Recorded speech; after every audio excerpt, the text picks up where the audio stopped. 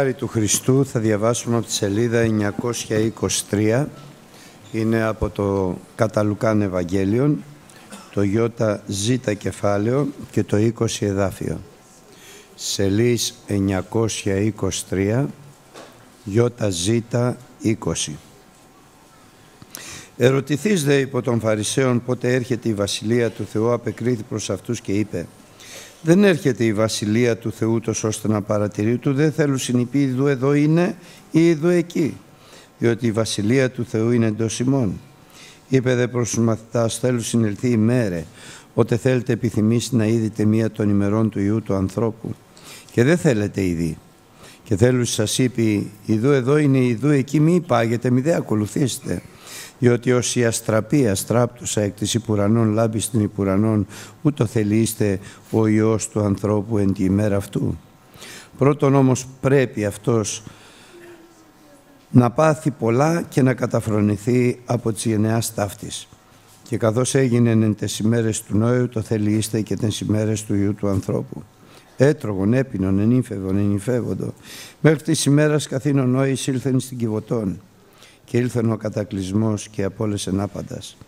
Ομοίως και καθώς έγινε τες ημέρες του Λότ, έτρωγον έπινον ηγόραζον επόλουν εφύτευον οικοδόμων, καθήν δε ημέραν εξήλθε ο Λότ από Σοδόμων, έβρεξε πύρ και θείον από ουρανού και απόλεσεν άπαντας. Ω αυτός θελείστε καθήν ημέραν ο Υιός του ανθρώπου θέλει φανερωθεί κατ' εκείνη την ημέραν, ώστε ευρεθεί επί του δώματος και τα σκεύη αυτού εν τη οικία. Ας μία καταβίδει αναλάβει αυτά και ώστε εν το αγρόμιο ας μη επιστρέψει τα οπίσω. Ενθυμίστε τη γυναίκα του Λότ. Ώστε ζητήσει να σώσει την ζωή αυτού θέλει απολέσει αυτήν και ώστε απολέσει αυτήν θέλει διαφυλάξει αυτήν. Σας λέγω εν την νυχτή εκείνη θέλουν είστε δύο επί μιας κλίνης, ο εις παραλαμβάνεται και ο άλλος αφήνεται. Δύο γυναίκες θέλουν συναλέθιο μου, η μία παραλαμβάνεται και η άλλη αφήνεται. Δύο θέλουν συνείστε εν το αγρό, ο εις παραλαμβάνεται και ο άλλος αφήνεται. Και αποκριθέντες λέγως προς αυτόν που Κύριε. Ο δε είπε προς αυτούς, όπου είναι το σώμα, εκεί θέλουν συναχθεί και η αετή. Μας βεβαιώνει ο Λόγος του Θεού και είναι αληθινός ότι περί της παρουσίας του Κυρίου ημών Ιησού Χριστού πρώτον και δεύτερον της εις αυτόν επισυνάξεως ημών υπάρχουν δύο μέρες, η μέρα του Χριστού, η Δευτέρα παρουσία και η μέρα η δική μας, η αρπαγή της Εκκλησίας όπου καθώς είναι γεγραμμένο θα μεταβεί στην ελευθερία της δόξης του τέκνων του Θεού και αυτή ακόμη η κτήση η οποία συνοδύνει και συναγωνιά. Συστενάζει και συνοδύνει. Μέχρι την ημέρα που θα αποκαλυφθούν οι ή του Θεού όπως ακριβώς και ο Ιησούς Χριστός ο οποίος σαν άνθρωπος είναι Υιός Δαβίδ και σαν Υιός Θεού απεδείχθη δια της Αναστάσεως αυτού. Έτσι και εμείς, σαν σάρκα, σαν άνθρωποι, δια της πίστεως είμαστε παιδιά Θεού, με την αρπαγή της Εκκλησίας όμως θα αποκαλυφθούμε ή του Θεού τους ζώντος, εις τους αιώνες των αιώνων, όπου θα συμβασιλεύσουμε καθώς είμαι θα κληρονόμη του Θεού και συγκληρονόμη του Ιησού Χριστού εάν μείνουμε μέχρι τέλος στην πίστη. Περί της Δευτέρας λοιπόν παρουσίας και περί της άλλης ημέρας της επισυνάξεως ημών ο Απόστολος Παύλος λέει μη θορυβήστε, μην ανησυχείτε, μην αγωνιάτε γιατί δεν πρόκειται να έρθει η Δευτέρα παρουσία εάν πρώτον δεν έρθει η αποστασία. Η πλήρης, ολοκλήρως, καθ' ολοκληρία. Και στον προφήτη Δανιήλ το Πνεύμα το Άγιο γράφει «Εν της εσχάτης καιρής όταν η αμαρτία θα φτάσει στο πλήρες τότε θα αποκαλυφθεί ο άνομος τότε θα αποκαλυφθεί βασιλεύς σκληροτράχυλος και μία δεδομένη είναι στιγμή που η αμαρτία φτάνει στο πλήρες, που έρχεται η αποστασία, αμέσως μετά την αρπαγή της Εκκλησίας, όπου όλοι οι δίκαιοι, όλοι οι Άγιοι, όλοι οι έτοιμοι, όλοι οι πλήρεις Πνεύματος Αγίου και Δυνάμεως θα αρπαχθούν και θα μείνουν κάτω. Αυτοί που δεν δέχτηκαν την αγάπη της αληθείας δια να σωθούν αλλά παρέμειναν πιστοί στην απιστία τους. Δεν πρόκειται λοιπόν να έρθει Δευτέρα παρουσία εάν πρώτα δεν έρθει η αποστασία και αμέσως μετά την αποστασία θα αποκαλυφθεί ο άνθρωπος της αμαρτίας, ο Υιός της απολίας, ο αντικείμενος και υπεραιρώμενος εναντίον εις πάντα λεγόμενων Θεών εις έβασμα και ο σκοπός του θα είναι να καθίσει στον ναό του Θεού ως Θεός αποδεικνύον τον εαυτό του ότι είναι Θεός. Και αυτός είναι ο Αντίχριστος. Για 7 χρόνια λοιπόν, μετά την αρπαγή της Εκκλησίας, θα έρθει κατ' ενέργεια του σατανά εν πάση δυνάμει και σημείς και τέραση ψεύδους. Το ερώτημα όμως είναι γιατί δεν έχει έρθει ακόμη; Γιατί το μυστήριο της ανομίας ήδη ενεργείται, όμως μυστηριωδώς, όχι αποκεκαλυμμένος. Και εξηγεί ο Λόγος του Θεού ο Απόστολος Παύλος. Ότι υπάρχει, δεν έχει αποκαλυφθεί ο βασιλεύς ο σκληροτράχυλος, γιατί υπάρχει ένας λαός με εξουσία που καθιστά αδύναμο τον Θεό να πράξει τι κακόν όσο υπάρχει αυτός ο λαός μέσα. Και αυτός ο λαός είναι η Εκκλησία του Χριστού που κεφαλή είναι ο ίδιος ο Χριστός, σώμα τα μέλη όλων όσων κατά χάριν δέχθησαν τον Ιησού Χριστόν και εσώθησαν και τα ονόματά τους εγγράφησαν στο βιβλίο της ζωής και η δύναμη της Εκκλησίας είναι ο παράκλητος στο πνεύμα της αληθείας. Καθώς υπόσχεται ο Θεός ότι δίδω εις εσάς πάσαν την εξουσία να πατάτε πάνω σε φίδια και σε σκορπιούς και σε όλη τη δύναμη του εχθρού και τίποτα να μην μπορεί να σας βλάψει. Όσο λοιπόν υπάρχουν οι Άγιοι άνθρωποι του Θεού ο Νόε επί της γης, ο Λότ στα Σόδομα και στα Γόμορα, ο Θεός δεν μπορεί να φέρει την οργή του Θεού και την οργή του αρνίου. Γνωρίζετε λοιπόν πάρα πολύ καλά ποιος είναι αυτός που έχει την εξουσία και εμποδίζει στον άνομο να αποκαλυφθεί. Μέχρι ότου εκβληθεί εκ μέσου ο κολλίον τώρα. Και ποιος είναι αυτός που θα εκβάλει εκ μέσου των ανθρώπων την εκκλησία, τον κατέχοντα, τον έχοντα απόλυτη, απόλυτη εξουσία, είναι ο πατέρας που θα δώσει κέλευσμα με φωνή αρχαγγέλου και με σάλπιγγα Θεού και ο Χριστός θα έρθει δια Πνεύματος Αγίου να μεταμορφώσει τους πιστεύοντες ώστε το θνητό να ενδυθεί αθανασία, το φθαρτό να ενδυθεί αυθαρσία και οι, από, οι, νεκροί εν Χριστώ θα αναστηθούν πρώτα και ταυτόχρονα εμείς θα μεταμορφωθούμε εις απάντηση του Κυρίου στον αέρα και ούτω θέλουμε είστε πάντοτε με ταυτού. Γνωρίζετε λοιπόν πάρα πολύ καλά λέει ο Απόστολος Παύλος γιατί δεν έχει αποκαλυφθεί ακόμη ο Αντίχριστος αν και το μυστήριο της ανομίας ήδη ενεργείται; Και το γνωρίζουμε πάρα πολύ καλά.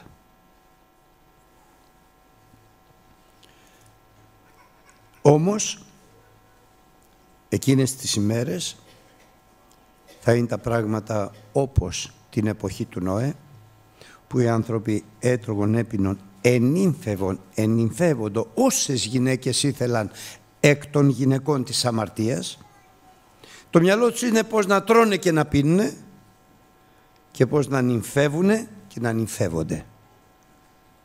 Κατ' εξακολούθηση. Μέχρι σότου, πρώτο σημείο, ο Νόε εισήλθε εις την Κιβωτό και ο Θεός απόλεσε άπαντας. Αλλά θα είναι ταυτόχρονα και όπως τον καιρό των Σοδόμων και των Γομόρων του Λότ, όπου οι άνθρωποι όχι μόνο έτρωγον και έπινον, ούτε νύμφευον και νυμφεύοντο. Δεν υπάρχουν πια αυτά. Τρώνε και πίνουν και αγοράζουν, πολλούν, φυτεύουν και οικοδομούν. Όπως ακριβώς γίνεται στις μέρες μας.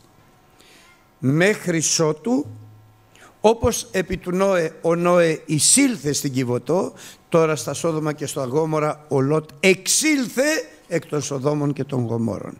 Και τότε απολέστησαν άπαντα. Το μυστικό λοιπόν για μας είναι και η σωτηρία μας είναι να εισέλθουμε στην Εκκλησία πριν τον κατακλυσμό και να εξέλθουμε από τα Σόδομα και τα Γόμορα πριν την καταστροφή. Και αυτό με τη χάρη του Χριστού, τη δύναμη του Πνεύματος του Αγίου και τη βοήθεια του Παντοδυνάμου Θεού το κάνουμε γιατί σήμερα είμαστε εδώ. Έχουμε εισέλθει στην Κιβωτό και έχουμε εξέλθει εκ του κόσμου. και χαιρόμαστε στην παρουσία του Θεού. Έτσι λοιπόν θα είναι και η μέρα του Ιού του ανθρώπου όταν θα έρθει να παραλάβει την εκκλησία του και προσέξτε ενθυμίστε τη γυναίκα του Λότ. Η εντολή ήταν μη στρέψεις στα πίσω μην κοιτάξεις πίσω σου. Ο Απόστολος Παύλος λέει τα μένω πίσω λησμονώνεις δε τα έμπροσθεν επεκτηνόμενος τρέχω για να λάβω το βραβείο της ανοκλήσεως. Μην τρέφεις πίσω. Μη σε παρασύρουν οι αναμνήσεις και οι σκέψεις. Μην απογοητεύεσαι από τις αποτυχίες σου. Μη χαίρεσαι για τις επιτυχίες σου. Ξέχασε τα οπίσω, τρέχα μπροστά. Και μπροστά είναι η αρπαγή της Εκκλησίας μπροστά είναι η δόξα και η ευλογία του Θεού. Το πίσω θα απολέσει την ψυχή σου. Εάν θελήσεις να σώσεις την ψυχή σου θα τη χάσεις. Εάν θελήσεις να χάσεις την ψυχή σου, τη ζωή σου, χάρη του Χριστού, θα την κερδίσεις. Και τότε θα γίνει, θα είναι θα γίνει και θα είναι εκείνη η υπέροχη ημέρα που θα ακουστεί το κέλευσμα του Θεού, η σάλπιγγα του Αρχαγγέλου. Η φωνή του Αρχαγγέλου και η σάλπιγγα του Θεού. Και δύο θα είναι σε μια κλίνη, φοβερό. Τη νύχτα, δύο θα κοιμώνται μαζί. Ο ένας παραλαμβάνει, το άλλος αφήνεται. Φοβερό ένδοξο για αυτόν που παραλαμβάνεται, τραγικό για αυτόν που μένει και βλέπει τη θέση τη διπλανή άδεια.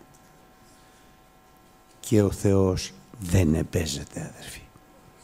Όποιος παίρνει στη σάρκα του θα θερήσει φθορά. Όποιος παίρνει στο Πνεύμα το Άγιο θα θερήσει στο Ιόνιο. Δύο θα είναι τη νυχτή εκείνη, τη νυχτή αυτή στην κλίνη. Ο ένας παραλαμβάνεται ο έτοιμος, ο άλλος αφήνεται. Δύο γυναίκες θα αλέθνο μου. Η μία παραλαμβάνεται, η άλλη αφήνεται. Δύο άντρες θα είναι στον αγρό και θα εργάζονται μαζί. Στον αγρό στο χωράφι ή στον αγρό του Κυρίου. Ο Θεός να μας φυλάει. Ο ένας παραλαμβάνεται, ο άλλος αφήνεται. Και οι μαθητές ρώτησαν πού Κύριε; Και ο Κύριος του είπε, τους είπε, όπου είναι το σώμα του Χριστού, εκεί θα μαζευτούν και οι αετοί. Σαν αετοί θα πετάξουμε, αδερφοί, με το καινούριο σώμα. Να είμαστε έτοιμοι. Να είμαστε έτοιμοι με την ευθύνη που μας έχει δώσει ο Θεός του αγιασμού και της καθαρότητος, της υπακοής και του περπατήματός μας ακριβώς στην οδόν του Κυρίου. και να είμαστε και έτοιμοι στη δικαιοσύνη και την κρίση του Θεού. Οι μέρες αυτές είναι φοβερές και τρομερές οι οποίες έρχονται. Δεν έχουν ξαναγίνει, ούτε θα ξαναγίνουν. Δεν έχει ξαναγίνει αρπαγή. Δεν έχει ξανακουστεί κέλευσμα. Δεν έχει ξανακουστεί η φωνή Αρχαγγέλου. Δεν έχει ξανασκουστεί η εσχάτη σάλπιγγα. Γιατί οι σάλπιγγες έχουν ακουστεί είναι η πρόσκληση του Θεού προς σωτηρία των ανθρώπων. Και δεν έχει γίνει ποτέ εν μια στιγμή εν υπείο φθαλμού η μεταμόρφωση των ζώντων και η Ανάστασης των νεκρών των αποθανόντων εν Χριστώ. Αλλά ο Λόγος του Θεού λέει ο Χριστός λέει στους μαθητάς θα έλθουν οι μέρες στους 12 και τους λοιπούς της πρώτης Αποστολικής Εκκλησίας πριν ακόμη γίνει πρώτη Αποστολική Εκκλησία. Θα έλθουν οι μέρες όταν θα καταλάβετε εξ αποκαλύψεως τι θα γίνεται την, την εποχή της ημέρας του Ιού του ανθρώπου θα θέλετε να ζείτε και να δείτε αλλά δεν θα μπορείτε γιατί δεν είναι για σας και εκεί αδερφοί αγαπητοί για μας είναι. Θα δείτε δια της πίστεως, ξαποκαλύψεως, θα επιθυμήσετε να ζήσετε, αλλά δεν θα μπορείτε. Όπως πολλοί προφήτες στην Παλαιά Διαθήκη επιθύμησαν, λέει ο Χριστός, να δουν μία των ημερών όταν ο Ιησούς ο Ναζωραίος ο Χριστός θα είναι επί της γης και δεν μπόρεσαν να τη δουν παρά μόνο εξ αποκαλύψεως. Γιατί οι μέρες είναι φοβερές και τρομερές αδερφοί. Απίστευτες. Όμως σήμερα θα δούμε τι θα γίνει με τη χάρη του Χριστού και στην πατρίδα μας στην Ελλάδα μέσα από το Λόγο του Θεού. Θέλω μαζί να πάμε στη σελίδα 838. Γιατί υπάρχουν δύο έθνη, οι Ιουδαίοι πρώτον και Έλληνες, οι οποίοι περιγράφονται με λεπτομέρεια μέσα στο Λόγο του Θεού, καθώς ο Θεός εξέλεξε τους Ιουδαίους για να γραφτεί η Παλαιά Διαθήκη στη γλώσσα τους και να εργαστεί ο Θεός με αυτούς στη χώρα τους. Και βεβαίως η Ιερουσαλήμ μέχρι σήμερα είναι ποτήριον ζάλης κατά το Λόγο του Θεού και σημείων αντιλεγόμενων κατά το Λόγο του Θεού. Αλλά και η Ελλάδα και δεν είναι καθόλου έπαρσης ή περηφάνεια αλλά είναι φόβος και τρόμος για τα μέλλοντα να έλθουν μη βρεθεί κανείς από μας αναπολόγητος. Εκείνη την ημέρα. Γιατί ο Λόγος του Θεού κηρύτεται μικρών πίμνιων στο οποίο ο Θεός ευδόκησε να δώσει τη βασιλεία Του. Αλλά είναι και γραμμένο και γραφή δεν δύναται να αναιρεθεί ότι ο Ιησούς Χριστός υπεσχέθη τις, έχασες, τις έσκατες ημέρες ότι θα γεμιστεί ο οίκος του Θεού. Και ο οίκος του Θεού είναι η εκκλησία του Θεού του Ζώτος. Και ποια εκκλησία είναι ο οίκος του Θεού; Ο στήλος και το εδραίωμα της αληθείας. Αυτός είναι ο οίκος του Θεού. Αυτός, αυτή η εκκλησία μέσα στην οποία υπάρχει θεμέλιο της αληθείας και στήλος που στηρίζει την αλήθεια. Και η αλήθεια είναι το Ευαγγέλιο του Ιησού Χριστού. Και η αλήθεια είναι η απόλυτη αλήθεια. Είναι το θέλημα του Θεού, το αγαθόν, το ευάρεστον και το τέλειον, όπως περιγράφεται μέσα στο Λόγο του Θεού. Γι' αυτό αγαπημένα μου αδέλφια, όπως οι Εβραίοι, οι Ιουδαίοι, είχαν την ευκαιρία τους αλλά την έχασαν. Όταν ο Ιησούς έφτασε στην Ιερουσαλήμ και είπε «Ήθε και εσύ λαέ του Θεού, να καταλάβαινες την ημέρα αυτή της επισκέψεώς μου. Αλλά δεν κατάλαβες. Γι' αυτό αφήνεται ο οίκος σου έρημος. Ήθε και εμείς να καταλάβουμε για να γεμιστεί ο οίκος μας, ο οίκος του Θεού του ζώντος, να καταλάβουμε το σχέδιο του Θεού, την αγάπη του Θεού, το έλεος του Θεού, τις βουλές του Θεού και τα σοδούς του Κυρίου με βάση την πατρίδα μας στην Ελλάδα, τους Έλληνες. Διαβάζω λοιπόν από τη σελίδα 838 πώς περιγράφει ο Λόγος του Θεού βήμα με βήμα το σχέδιο του Θεού. Από το 9 εδάφιο. Χέρες φόδρα θύγατερ Σιών, αλλάλαζε θύγατερ Ιερουσαλήμ, ειδώ ο βασιλεύς σου έρχεται προσέ, αυτός είναι δίκαιος και σώζων, πραής και καθήμενος, επιώνου και πόλου Ιού υποζυγίου, αλλά ο λαός Ισραήλ δεν ενόησε την επίσκεψη του Χριστού. Αντιθέτως, περιφρόνησε, καταφρόνησε, σταύρωσε, θανάτωσε τον άρχοντα της ζωής. Γι' αυτό συνεχίζει ο Λόγος του Θεού εγώ θα εξολοθρεύσω την άμαξα από τον Εφραήμ και τον, Ίκον από, και τον Ήπον από τη Ιερουσαλήμ και θα εξολοθρευθεί το τέξον των πολεμικών και κατεστράφει επειδή δεν γνώρισε, επειδή δεν ανεγνώρισε, επειδή δεν κατάλαβε, επειδή δεν ενόησε. Κατεστράφει η Ιερουσαλήμ, γκρεμίστηκε και σύμφωνα με το Λόγο του Θεού διασκορπίστησαν σε όλα τα έθνη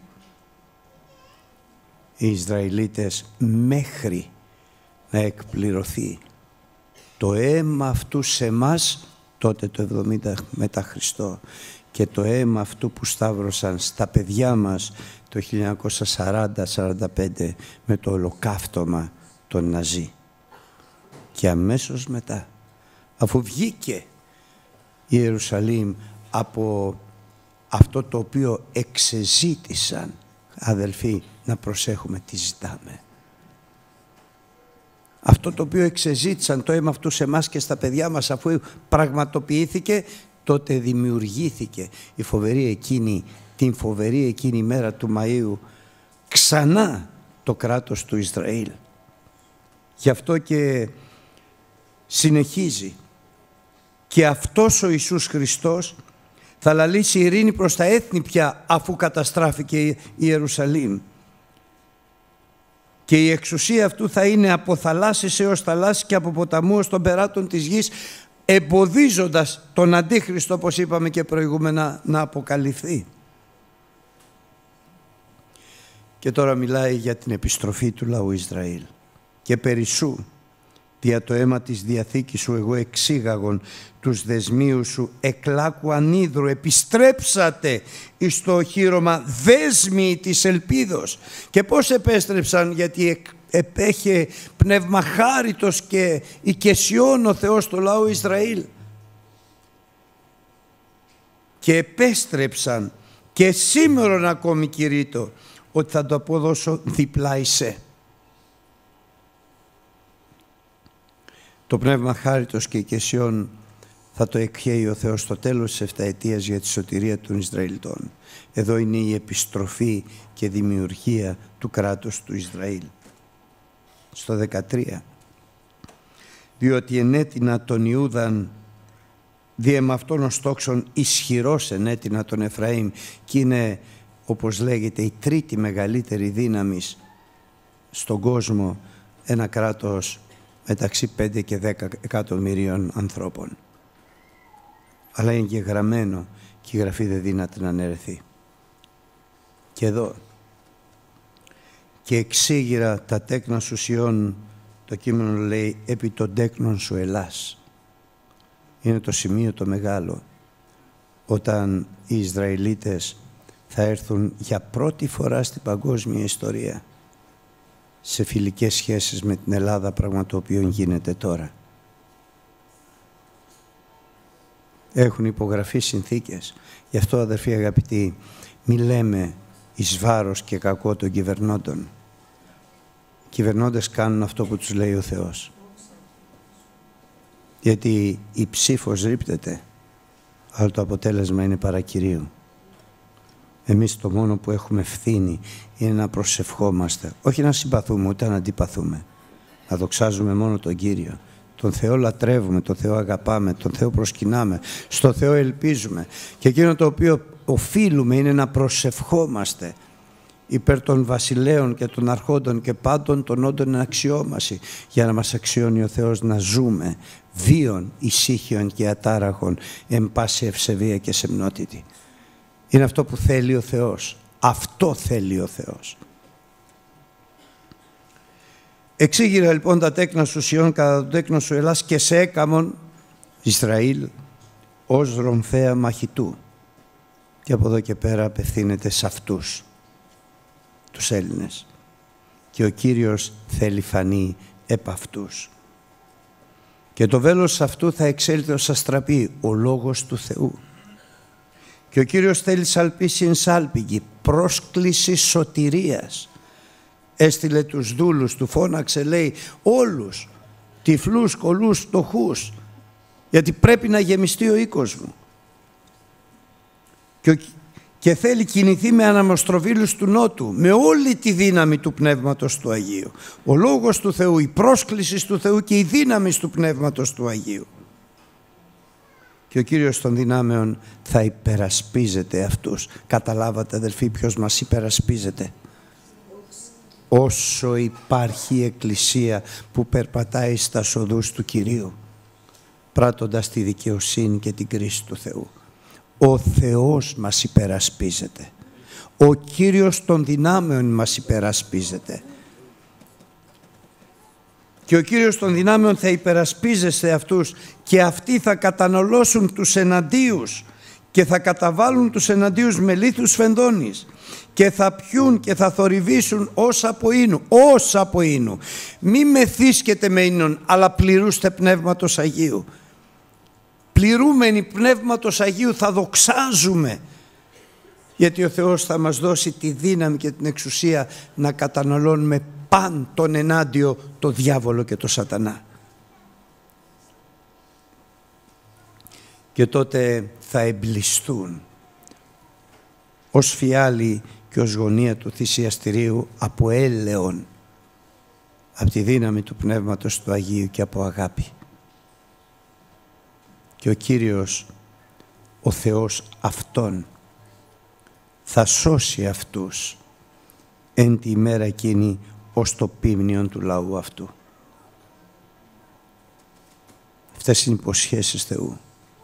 Αυτός είναι λόγος Θεού. Εκείνη την ημέρα ο Κύριος θα σώσει.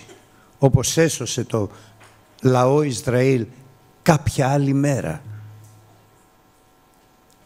Για ποιο λόγο; Επειδή ως λύθη διαδήματος θα υψωθούν επί την γην αυτού στην Εκκλησία του Θεού. Πόση είναι η ωραιότης αυτού και πόση η αγαθότης αυτού. Ο Σίτος θα κάνει ευθύμους τους νεανίσκους και το γλεύκος παρθένους. Ζητείτε και η εντολή των εσχάτων ημερών. Ζητείτε παρά του Κυρίου η ετών εν το καιρό της οψίμου βροχής. Και ο Κύριος θα κάνει αστραπές και βροντές η ετώ και θα δώσει σε όλους βροχού, βροχάς σόμβρου σε κάθε έναν καρποφορία και βοτάνι εν το αγρό. Γιατί; Διότι τα είδωλα και η πιο ειδωλολατρική χώρα σε όλη την οικουμένη είναι η Ελλάδα. Κρίμα. Αλλά αυτή είναι η αλήθεια. Τα είδωλα ελάλησαν ματαιότητα και οι μάντις, άσε οι αστρολόγοι και οι μάγοι που βασιλεύουν και επιπλέον στη χώρα μας.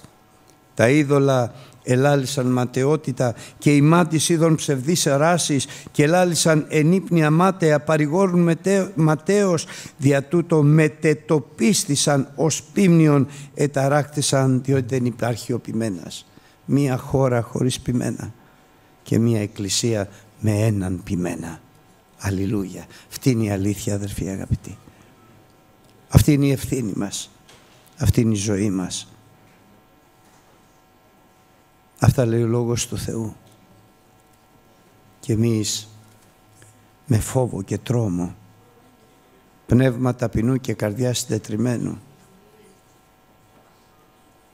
λέμε αμήν Κύριε. Γεννηθείτε το θέλημά Σου. Γεννηθείτε το θέλημά Σου ως εν ουρανό και επί της γης. Δόξασε το όνομά Σου όπως τον ουρανό και στη γη. Αμήν.